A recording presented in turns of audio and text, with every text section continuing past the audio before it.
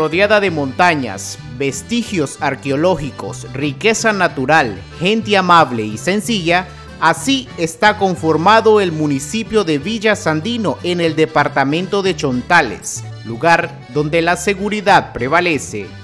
Nosotros de manera articulada trabajamos una serie de planes de orden público, que son planes dirigidos principalmente a lo que es la seguridad ciudadana. Yo me siento bien, más segura, porque sí nos visitan constantemente ellos.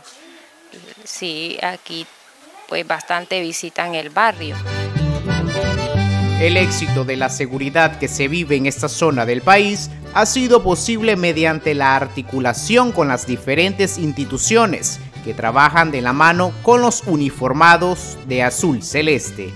Un trabajo coordinado con la policía, nosotros trabajamos de la mano con ellos, con la comunidad también. Si vamos a una comarca, pues ahí vamos juntos, todos los ministerios que tenemos aquí trabajamos de la comunidad y la, con la policía también. Como pobladora me siento bien, pues gracias a Dios que todo seguridad y buena seguridad pues en, nuestro país pues que todo se mira bien, gracias a Dios. Estoy bien, pues, gracias a Dios que todo seguridad y buena seguridad, pues, en, nuestro país, pues, que todo se mira bien, gracias a Dios.